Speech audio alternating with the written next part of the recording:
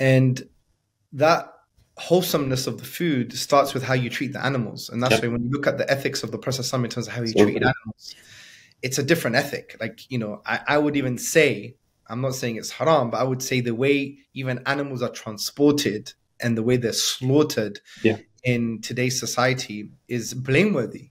And it's always going to impact the quality of the meat and the food that we have. And then we're going to be injecting that. Because if you think about the concept of halal meat, it's actually very profound because animals are Muslim, right? Yeah.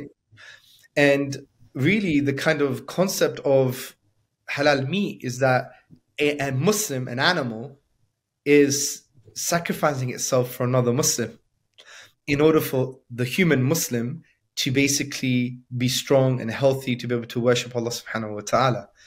And that's, you know, the framing of that is quite interesting. So if you frame it that way, then you're going to take more time to think about, well, how did the Prophet actually treat animals? How did the Prophet slaughter animals? How did the Prophet engage with animals? How did the Prophet see animals as part of, you know, our biosphere, as part mm-hmm. of our mm-hmm. environment?